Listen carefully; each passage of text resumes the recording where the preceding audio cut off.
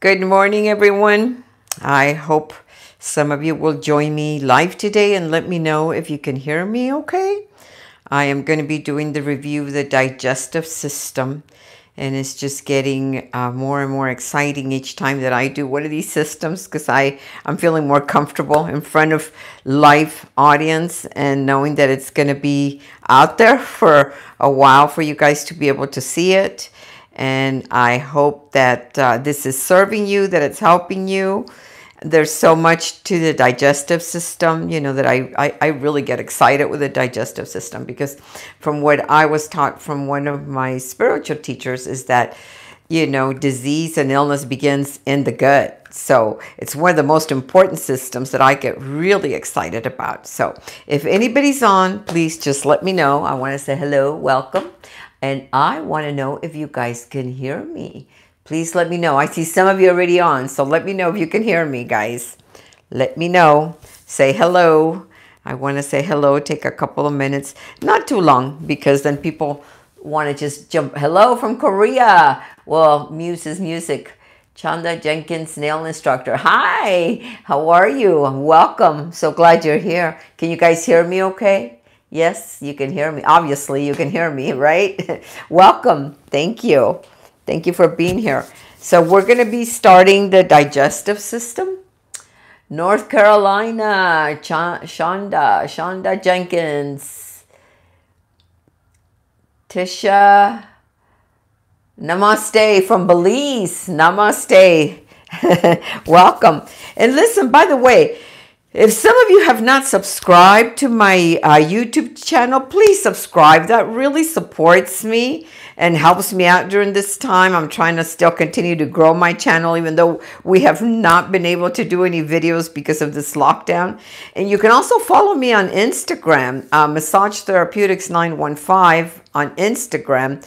Massage Therapeutics 915 on Instagram. You can check out my store at massagetherapeutics915.com.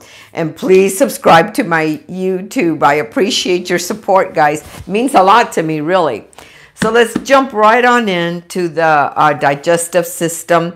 I'm going to be obviously naming the um, anatomy, the physiology, discuss some of the different layers, and maybe even go a little bit into more detail with a you know, with the small intestine and the large intestine, and also describe the accessory organs that help the digestive system.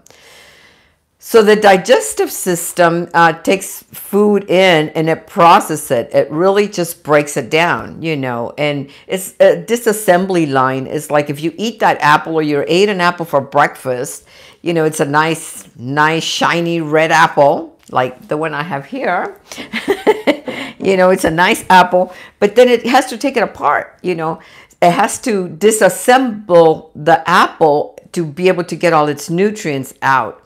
So and it does require quite a bit of energy for digestion. It produces more than it requires, so that's a good thing, but it does take a lot of um, energy. Thus, thus the reason that it's uh, stimulate stimulates the parasympathetic nervous system.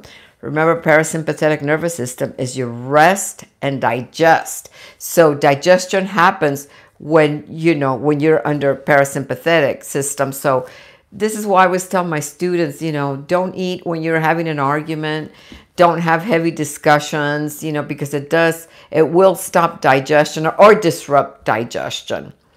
So gastroenterology, remember ology, means study of. So it's the study of the gastroenterology, um, the digestive system study. The anatomy are the parts. What parts are, you know, for the digestive system? And some of them, it's, it's a little bit confusing sometimes when I teach the respiratory system because they go, why is it? I thought the trachea was part of the digestive system, but the trachea is part of the um, respiratory system. So the anatomy is the oral cavity, and that would be your mouth, you know, with your tongue and your teeth, and the glands, you know, the salivary glands. And we have three major, you know, salivary glands, and the parotid gland is the largest one right here by the mandible. So when you're working on somebody, you know, be very careful because it does lie over the masseter muscle. So be very careful not to press, you know, too much of, on that. Another uh, part of the um, anatomy is the pharynx, the esophagus, the stomach, small intestine, large intestine, and obviously some of the accessory organs. And accessory organs means that it helps. It helps with digest. It aids with digestion. So let's talk about the physiology. Ingestion is the process of taking food into your mouth. You're ingesting it. Okay, so that's ingestion. Digestion means you break it down. So digestion is already taking all the, you know, the molecules apart into smaller molecules so that it can be reabsorbed into your body to feed and take nutrients all around your body. Secretion is cells secrete mucus and uh, digestive enzymes. So secretion is one of them. Absorption is the molecules move into the bloodstream and the lymph vessels, and then it carries it through your, you know, through your whole system, through the blood. So that's absorption. Defecation is undigestible food that needs to be eliminated. I think we all know what that means. And don't freak out that I like to talk about it because I think it's so important to talk about about it. So uh, the, the, the gastrointestinal tract is a muscular tube from mouth to you know where. I, I don't want to say too many things. So I don't want YouTube to cut me off. So it uh, has the accessory and uh, glands like the salivary glands, the pancreas. The pancreas is part of the endocrine system too. It's an endocrine gland. So it serves, it's the only gland of the endocrine gland that serves as exocrine and, eh, you know, an endo endocrine gland. But I'll tell you a little bit more about that. So, and then you have your liver and your gallbladder. So there's uh, several layers. Remember that the intestinal tract is smooth muscle. Okay, just like your biceps, it's smooth muscle. It works. It's got peristaltic action to move all that food down, you know, the way it's supposed to.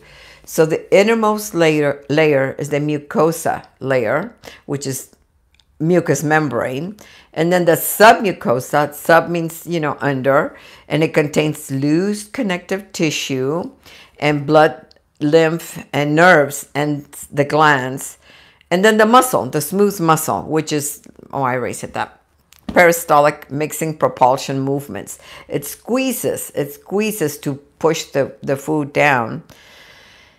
And then the serosa, which extends and attaches to the peritoneum. And the peritoneum is it's like a pillowcase over the the lower, you know, over the intestines to kind of hold it together and keep it in shape. And then you have your, you have like four layers. You know, you have your peritoneum, then you have your greater omentum, and you know, and then uh, on the on the most superficial, then you would have your four layers of abdominal mus muscles, which the deepest one is the transverse abdominis, and then your external and internal obliques, and then the rectus abdominis. And I want to remind you guys that this is what holds our guts in, you know, your mus muscular, you know, um, the four layers, and the rectus abdominis is the only one that's straight up and down, right down the middle. Rectus means straight, up and down the middle.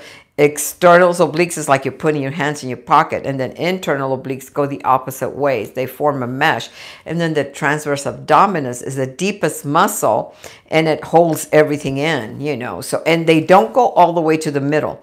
They only, you know, go up to about right here, you know, right right next to the rectus at the edge of the rectus abdominis the lateral side and then the rest of it is the aponeurosis over that, you know. So an aponeurosis, remember, means flat sheet tendon. I'm that I'm sorry. I just think it's important for us as therapists to know that, you know. So I'll show you right now how we need to work the digestive system. So we have the greater and lesser omentum, which is a membrane in front of the organs and the intestines. And the greater omentum is like a little apron. Oh, I should have brought an apron in. I have an apron, but I, you know, I, I didn't uh, bring it in. But the greater omentum is like, you know, right on this lower part, you know, kind of to keep things, you know, nice and tight. You know, the peritoneum keeps the organ, I mean, the, yeah, the small intestine, large intestine from moving around too much. And then the lesser one is over the, uh, over the liver and the pancreas. So that's, remember they come in layers. I, I just happen to have that handy because I went for a walk this morning. Uh, the retroperitoneal space is behind the peritoneum and it contains the pancreas, kidneys, and part of the uh, intestines. So that's behind. Retro means behind. Okay, so the oral cavity contains the teeth, the tongue, the salivary glands masticate means chewing when you're masticating. You know, we're supposed to chew a lot, you know, because it breaks down food and we have the glands there. And digestion begins in the mouth because you start secreting, you know, enzymes to break down the food. Bolus is a ball. Bolus means the ball of food that you make. You know, before you swallow, you, you, chew a little bit, and before you swallow, you have this ball, and that's called the bolus when it goes from the mouth down the, you know, the the um, down to the esophagus and the stomach. Okay, you have salivary secretions, which are amylase and lingual lip, lipase and you have three, you know, salivary glands. I think I already mentioned them, the submandibular, sublingual, and then the parotid, which is the largest. Okay. Deglutition is the act of swallowing. So when you're swallowing, it's called deglutition, and it's and it's the bolus that you're swallowing. You know, it's like you get it nice and moist and broken down. It forms a little ball, and then you're able to swallow it and then it goes down to the esophagus, okay, transports uh, foods, liquids from the pharynx to the stomach, you know, and it goes down through the esophagus. So let's talk about the stomach. The stomach is like a J-shaped organ, and it really what it does is it, you know, it kind of breaks down the food. You know, it's a, uh, it's got the pyloric sphincter between the stomach and the small intestine, it expands. The the stomach is really kind of small and it you know when it's empty it doesn't hold very much you know it's it's it looks small but it can hold up to a gallon of food when it's stretched it looks like as a matter of fact if you follow me on instagram you'll see that i posted a picture of the stomach and it, it you know this is uh, like the menudo for those of you that speak spanish the tripe from the cow that's what it looks like it expands so um, once the bolus is in your stomach and it starts breaking it down by enzymes, it turns into chyme. Chyme is all that mushy stuff that's taken the apple apart. It broke the apple apart with all the enzymes. So the stomach's job is to turn and move and propulse. You know, it uh, has certain movements to break down, you know, the um, the apple or the steak or the hamburger that you ate, whatever you ate, you know, it breaks it down by gastric juices and by, you know, a little bit of movement. And so the, some of the secretions in their stomach are pepsin, hydrochloric acid, which, you know, hydrochloric acid is very strong and powerful. It can burn a hole through a carpet. It kills a lot of the bacteria that, you know, can get into our stomach. So it aids in digestion, uh, kills pathogens, bacteria. Um, it also has intrinsic factor and assists in B vitamins B12 absorption. It also the stomach also produces gastrin, uh, hormone stimulating secretions, and mucus by the goblet cells. You know to break it down, so it turns slimy, but it's called chyme. And once it goes from the stomach and it's ready to go into the small intestine, it goes into the first part of the uh, small intestine and the and the duodenum and the small intestine is actually even though it's called a small intestine it's called the small intestine because it's diameter it's smaller than the large the, the large intestine has a bigger diameter than the small intestine However, the small intestine is up to 20 feet and it's all nicely tucked and folded there in the middle, okay? Whereas the large intestine is only five feet long. So anyway, it's um, 90% of the absorption happens in the small intestine. That's where it takes out all the nutrients to take it back into your bloodstream. And I'll, i want to really talk about that a little bit. Um, it goes from to the duodenum, which is also has the ducts to the liver, to the gallbladder, and the pancreas. The liver produces um, bile okay? And it's stored in the gallbladder. The gallbladder does not produce the bile. It's the liver and then it's stored in the gallbladder. And so the secretions go into the duodenum which is only like 10 to 12 inches. So it's once it's in the stomach then it goes to the that part of the small intestine and then to the jejunum and then the ileum which is uh, the fast and the longest. And it oh, it also contains the Peyer's patches in the uh, ileum, where the that's part of the um, lymphatic system for you know for our immune system. Okay, so I want to talk a little bit about the small intestine.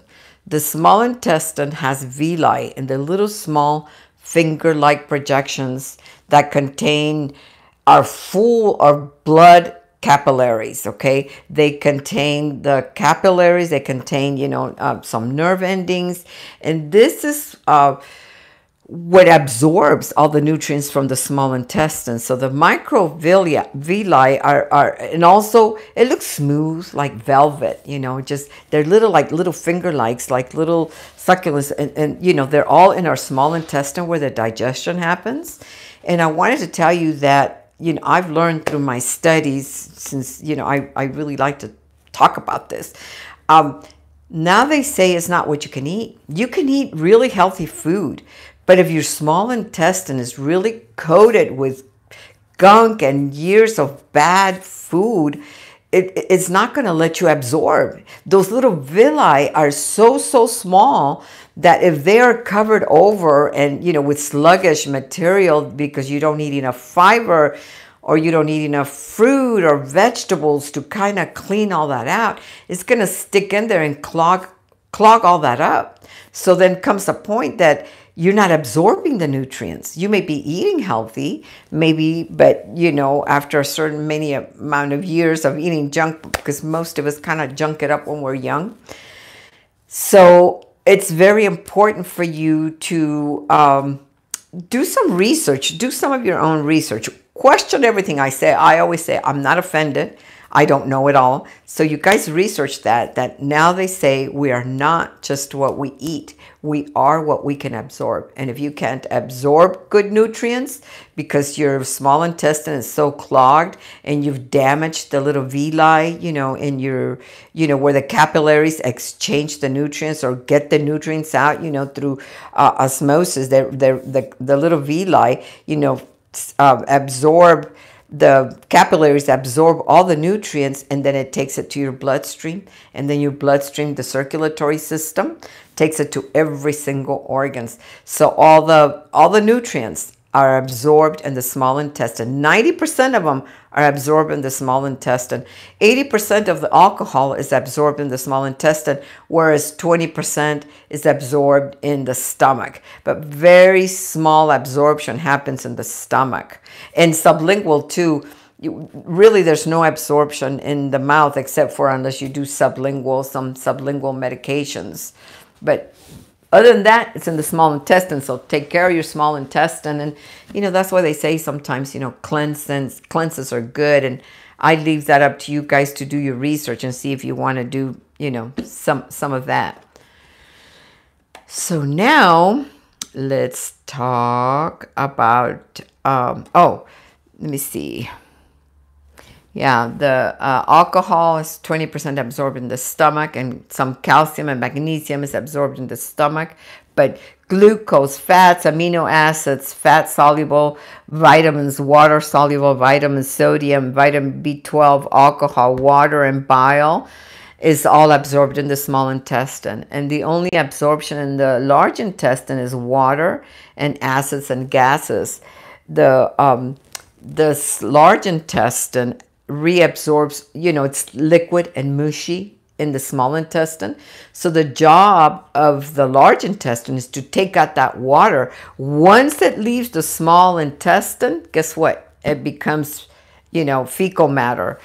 So you know, it, it, it starts forming fecal matter by reabsorbing the water out of it. So it takes the water. That's the job of the large intestine, to take the water out of it. And if you have not been drinking enough water and then your large intestine goes in there and tries to take the water out, that's when a lot of people get constipated. You know, and also remember that your large intestine is a muscle. And a lot of people that are constipated, they take uh, laxatives and it makes your muscle if you take them over a long period of time it really does make your muscles lazy. Just kind of like when you start stop working out and you lay around a lot like what we've been doing you know through this uh, lockdown. We we're being lazy you know sometimes we're not exercising as much because we can't go outside. Well our muscles start losing you know their their muscle tone well so does your large intestine. So try not to take you know for those of you that do take um uh, what I just said, the laxatives, try not to because it makes your colon lazy. You know, instead, eat a lot of fiber, eat good nutrients, drink a lot of water. Exercise, that's another one that stimulates your colon, is exercise. Don't depend on that coffee because coffee is a stimulant. Stimulant. So, um, water the wa- the job of the large intestines to absorb water electrolytes vitamin k production. It secretes mucus. Whenever you have diarrhea is because it didn't have time long enough it didn't spend enough time in the large intestine. The large intestine it the it moved through too fast. So now you have diarrhea. Because if, if it would take its time, you know, it takes time to go through the large intestine, then you would uh, be able to reabsorb all the all the water. And the large intestine has like little pouches, you know. I don't know if I don't have a picture, but it's got the haustra and, and it's like, well, maybe you can see it here. Let me see. I don't know if you can see it here, but these are the haustra, each little segment. So this would be the, you know, the ascending colon, transverse colon, and descending colon. Okay, and I'm going to show you how, you know, you would work that on a client, especially if they are, you know, having maybe a little bit of constipation, then you can go ahead and, you know, work out this muscle you know, so remember we're talking about the right and left side of your client. Anatomical position is always referring to the client. So the ascending colon goes up the right side, transverse across, and then it comes down on the left side. So when you're working on somebody, you always want to go, you, you know, you always want to go clockwise. You want to go the way that the, the, uh, the colon goes, the way it moves. You don't want to go against it. So when you're coming down here on the left side, you want to push down, you know, a little bit more on the left side because this eliminates and this absorbs the nutrients from the small intestine. It goes through you know, up the, this is where the small intestine ends and the large intestine begins on the right side. And every organ in your body has um, an opening and an end, you know, one that absorbs and receives and the other one where it, it eliminates, you know. So when you're working on somebody that needs some abdominal work, remember to always go clockwise and you might come down here you know down the uh, rectus abdominis too but keep that in mind I always like to give you tips on how to work on people because that is what we do. That's the only reason we learn all this stuff is to be able to help our clients and, you know, suggest to them that they drink enough water so that, especially if they're constipated and not to get dependent on those laxatives, guys, because I've seen, you know, um, some people that have done a lot of damage to their muscle because, like I mentioned before, it's smooth muscle. You want to exercise it. So now let's talk about the accessory organs, which is the liver, the gallbladder, and the pancreas. And the liver is our largest organ. It weighs anywhere from three to four pounds. It's quite large. My mouth is really dry today. And it lies on the right side. And um, it has over 500 functions. One of them that relates to the digestive system is produces bile. And bile is what gives the color to your feces. It's it's green and yellowish, and then it turns your your feces brown. And, and the reason it does that is because the liver receives all the uh, dead red blood cells and you know recycles them through the liver and so that's one of the reasons why our feces you know is brown so that comes the color comes from the bile you know, and the gallbladder just stores it. So really the, um, the liver, you know, it filters medications. That's why it's so, they tell you, you know, like Tylenol, don't take a lot of Tylenol, especially when you're drinking, because it really damages your liver, because your liver filters, like I said, your liver has over 500, you know, around 500 functions. So it's not just bile production, but you know uh, filters medications and gets rid of dead blood cells from you know that come from the uh, the spleen and everything. So okay so let's get on to the next one. Okay so it produces and metabolizes proteins carbohydrates and fats produce plasma proteins it stores nutrients it detoxifies certain harmful chemicals excretes substances, produces bile, and produces defenses. I always get ahead of myself, sorry. so we have the hepatic portal system, and this transports blood from the GI tract to the spleen, the gallbladder, and the pancreas to the liver. What this means is that you remember hepa, hepatic means liver. Hepatic portal system is that that the that it has its own blood supply, just like the heart. The heart has its own blood supply. You know, when you have a heart attack, it's it's the blood supply to the heart itself, to the the arteries from that go directly, you know, to the heart. It has its own blood supply. So does the liver, you know, and the um, biliary tract is the trans where it transports bile to the gallbladder to into the duodenum, which is the small intestine. Uh, we talked about the bile. The gallbladder is a pear-shaped sac located inferior and surface of the liver. It produces, uh, oh, produced by the liver. Oh, and the gallbladder also has rugae. Rugae is the folds that help it expand, just like your, you know, your bladder, your stomach, you know, is like it's smaller, you know, and then once it gets full, it can get bigger. The pancreas now, the pancreas is an interesting uh, uh, organ because it's also an endocrine gland. So it's an endocrine gland, part of the endocrine system because it produces hormones, but it also produces hormones that are needed for digestion. So it's it's both. It's a gland located posterior to the stomach and you know, so it's a gland, okay? It's it's considered a gland. It secretes enzymes that break down all categories of digestible food. It contains alpha and beta cells, um, glucagon and insulin. Those are hormones that are needed, you know, for us to digest. Acini cells secrete digestive enzymes. And also the pancreatic duct is in the duo empties into the duodenum, which is the first part of the small intestine.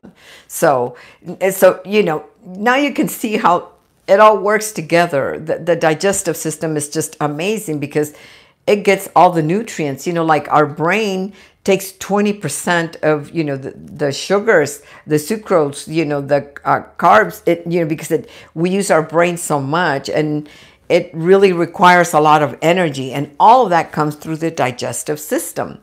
So the pancreas produces trypsinogen, chymotrypsin, pancreatic amylase, pancreatic lipase, and amylase, uh, most of us remember that it's for carbohydrate um, digestion, and lipase, anytime you hear lipase, has to do with lipids with fats, Okay. Oh, and it looks like a flat fish. That's, that's another thing. It looks like a flat. Look to me, it looks like a tongue. I don't know. You guys decide. Tell me. Tell me. I wanna. I wanna engage you guys. You know, it's so difficult to teach when there's no audience in, in the classroom. I try to engage my my students quite a bit. But this is the pancreas, and it, it's flat, and it says you know looks like a like a fish. But to me, it, you know, I, I don't know. It looks like a tongue to me. Okay, so I think we're almost done, but let's see. Yeah, so I wanted to, you know, to talk uh, a little bit about the digestive system and how now we have to be really careful because illness really does begin in, in, in the colon. So we really have to take care of our colon. We have to eat healthy. We have to flush it. We have to have enough, you know, water. And, you know, it's very important for us to have a good bio, you know, a biodome in, in our in our gut. You know, we have good bacteria and bad bacteria. And I know most of you already know about probiotics and there's such a thing as prebiotics because the pro if you're going to get a probiotic you need to make sure that you have a probiotic that has prebiotics because it has to go through your stomach through your small intestine and all the way down to your gut where you know where the good and bad bacteria are. So you know after it gets through the um, hydrochloric acid and all those digestive enzymes it's it's gone it's dead by the time it gets down below. And you want to have a higher concentration of good bacteria than bad bacteria. Because if it's the other way around guess what?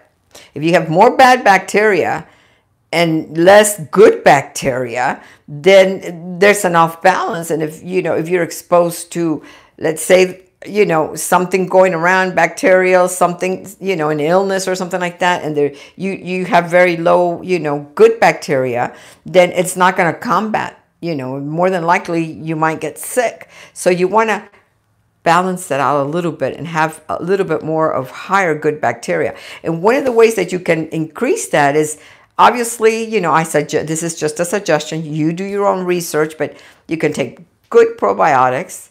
Or one of the things that they suggest now, I mean, that uh, not that they suggest now, we've always known this, but um, sour, anything that's fermented, sauerkraut, uh, sour, uh, sauerkraut, pickled beets, anything that's pickled, but it must be pickled in vinegar, not in salt, because then that just raises your blood pressure. So anything that's pickled, if you eat a lot of sauerkraut or a lot of, my son likes kimchi and, you know, uh, just... Uh, different, you know, things that really are good for your gut. You know, jalap uh, jalapenos, I think is one of them. And olives is another one. So, you know, yogurt has a little bit, but it's got to be the good yogurt, you know. Um, a lot of it is, is not as high.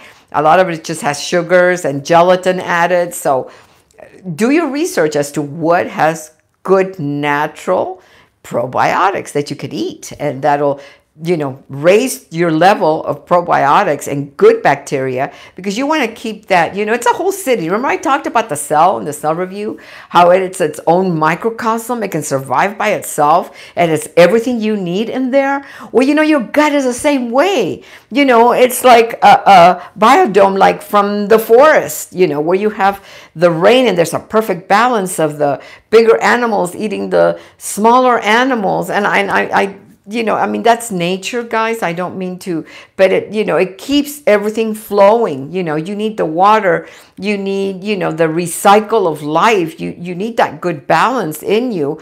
And like I mentioned to you guys, Ellen, we are a walking miracle. Our digestive system does a really good job of breaking things down.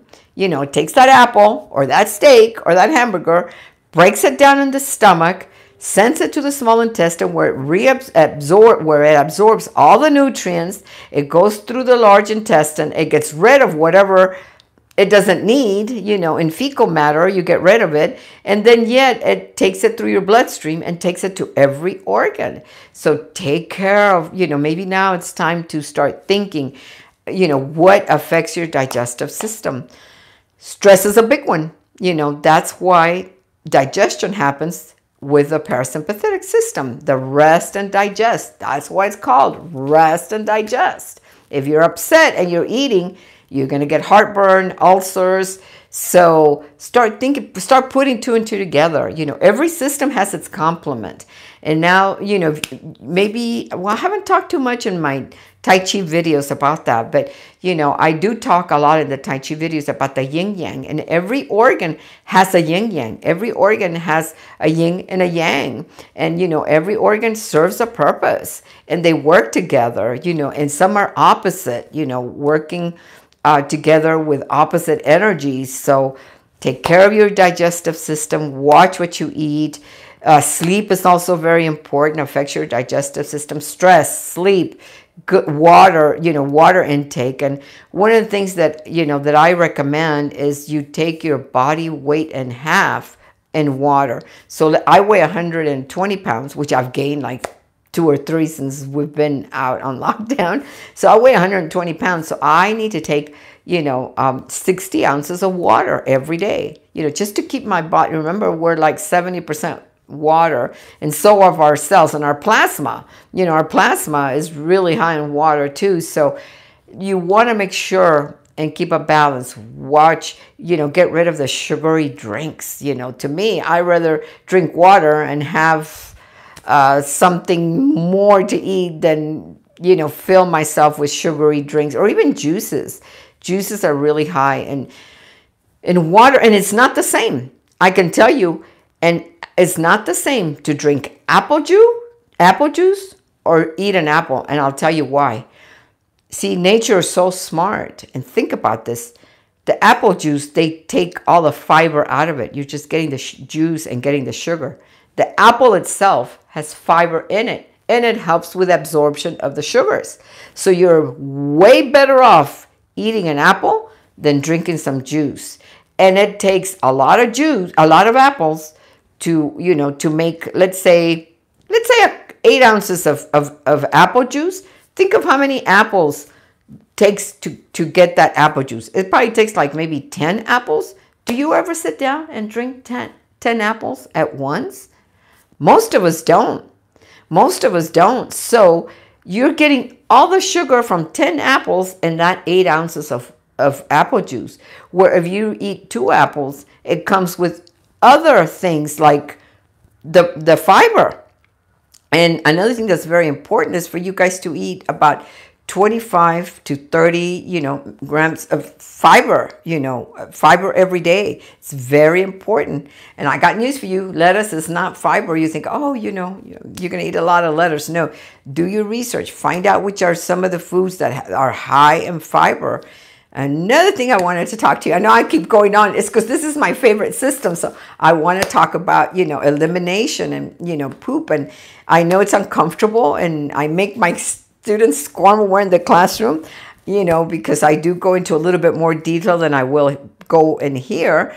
But once uh, poop goes into the rectum, which is the lower part, the, the end of the large intestine. Rectum means straight, so it's straight, ready to be eliminated. You have two sphincters. Okay, sphincter is nothing more than a muscle. You know, it's it's a it's a muscular, you know, uh, circular muscle that allows the um, the feces to go into the rectum and it fills up. And then the last one is the one that you feel like when you have to go use the bathroom you should be having, you know, every time we masticate and we start chewing, it stimulates digestion. Okay. It takes about three to four hours for all that food to go through your system. So when you're chewing and you feel like you have to go to the bathroom, it's not because it already digested the hamburger and french fries that you're eating. No, it's stimulating what you ate the meal before. So we really should, when you have a really good digestive system and you eat healthy, you should be eliminating every time that you eat, you know, that you eat a big meal. And most of us don't. As a matter of fact, a lot of people sometimes don't even go to the bathroom for three or four days. And they, you know, that's normal for them. And, you know, that's, like I said, that's not really, you know, the way it's supposed to be. But sometimes people have issues. So watch for that. Uh, also, you know, a healthy poop is, you know, should be the, the shape, the shape of your colon, you know, like in an S shape. And if it's really heavy with cheese and meats and all that, it sinks all the way to the bottom of the toilet. You know, that's when it's too heavy. You're eating too much heavy foods, not enough fiber, not enough, um, you know, apples and broccoli and all the good stuff. So I know this is kind of gross, guys, but you got to look at it. You got to figure out what's coming. You, you know, we always look at what we're ingesting. Ooh, that, and, and I'm the same way. You know, I actually I've been craving, like, God, I wish I could eat a big fat hamburger, you know, with cheese and french fries and all of that, you know, and it looks good and appealing. Nachos, all of that looks appealing, but we don't want to look at the outcome. But I think we need to look at the outcome, you know, to see, make sure that you have a good digestive, you know, system. So I know I like to talk, and this is my favorite. Is one of my favorites. I like them all really. They're all so important. So I hope this review has helped you. And uh, if you have any comments, please, please leave me comments because that motivates me. You know, right now I don't have my students in front of me. I'm not, I don't have my clients. So I need some motivation, guys, you know, to keep me going, to keep doing these reviews for you. So I don't know which one I'll do next. I'm just picking them as I, you know, as I want to do them. So I'll do another review next Wednesday. Stay tuned. Leave me comments, subscribe. Follow me on Instagram. Check out my store at massagetherapeutics.com. And um, you guys have a great week. Till the next time, create a great day.